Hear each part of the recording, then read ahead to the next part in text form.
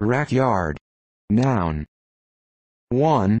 The location of a dismantling business where wrecked or decommissioned vehicles are brought, their usable parts are sold for use in operating vehicles, while the unusable metal parts, known as scrap metal parts, are sold to metal recycling companies.